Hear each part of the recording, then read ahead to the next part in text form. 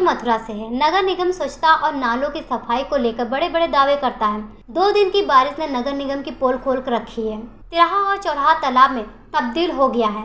एक तस्वीर फिर वायरल हो रही है, जिसमें नगर आयुक्त अनुनय झा पानी में खड़े हुए दिखाई दे रहे हैं। जल भराव की स्थिति का जायजा ले रहे हैं। समस्या तो पानी के बाहर से भी देखी जा सकती है।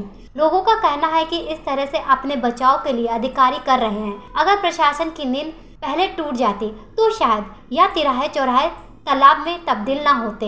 यह समस्या बरसों से चलती आ रही है। हर बार चुनावी वादे भी यही करते हैं कि पानी और जल भराव को जो समस्या होती है, उसे दूर किया जाएगा। लेकिन सही तरीके से कभी भी नगर निगम इस ओर ध्यान नहीं देता।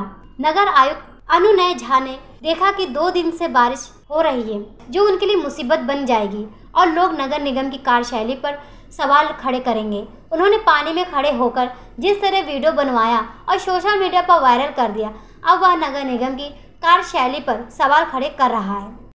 आशीष वर्मा। आशीष जी आप आए हैं पानी में से जिस तरीके से ये स्थिति है किसको जिम्मेदार मानते हैं और क्या लापरवाही नगर प्रशासन। सफ़ाई नहीं हो रही नालों की इसीलिए पानी जमा हो गया। तो ये स्थिति यहीं पे है क्या? जगह जगह शहर जगह जगह पूरे शहर में। तो जब चुनाव आते हैं तो क्या कहते हैं? लोग बाग आते हैं समस्या रखते हैं आप लोग तो क्या आश्वासन मिलता है? क्या कहें जो आश्वासन मिलता है बस।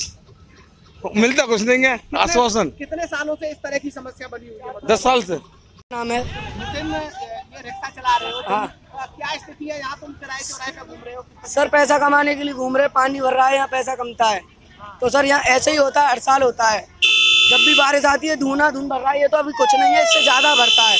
लोगों को पास कराने के लिए कितने पैसे लेते सर दस रुपए सवारी लिया जा रहा है उससे ज़्यादा नहीं। और यहाँ हर साल इतना पानी भरा जाता है इतना पानी भरा जाता है कि आदमी डूबता है। आ, इस वाले चौराहे पे आगे चौराहे पे कहीं भी जाओगे सर इतना ही पानी मिलेगा। मथुरा से अमित शर्मा की रिपोर्ट जन कल्याण न्यूज़।